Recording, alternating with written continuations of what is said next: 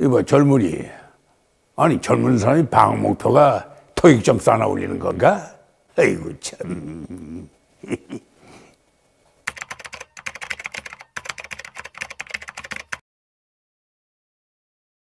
전의 나이에 할 수 있는 더 가치 있고 아름답고 창조적이고 본질적으로 더 멋진 사람을 성장할 수 있는 일들이 얼마나 많은가 말이에요. 더 신나고 가치 있고 진짜 성장할 수 있는 더 창조적인 일들을 해야지.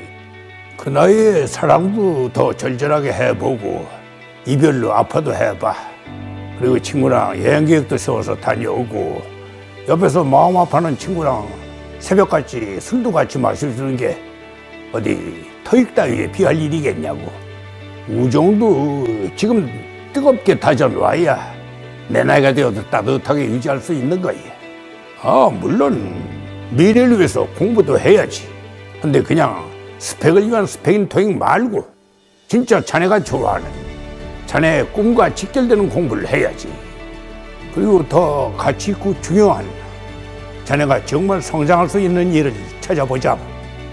알아. 현실은 녹록지 않고 불가피한 것들이 있지. 당연하지.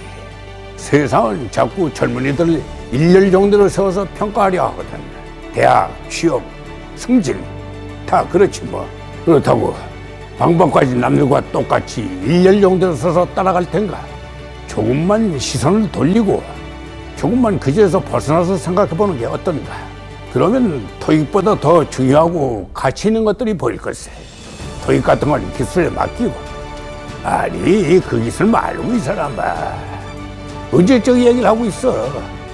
다 알고 있는 그런 가짜 기술 말고 자네를 진짜 자유롭게 해줄 수 있는 기술 말이야. 인공지능 기술. 인공지능 선생한테 맡겨. 인간의 역량을 이미 뛰어넘은 지 오래니 걱정하지 말고 맡겨보라. 그리고 토익으로부터 자유로워지자고. 자네의 꿈과 행복, 그리고 추억을 위해 아주 소중하게, 아주 귀하게 써야 하는 게 바로 시간이. 꼭 기억하게나. 자네의 시간은 토익보다 소중하다는 것을.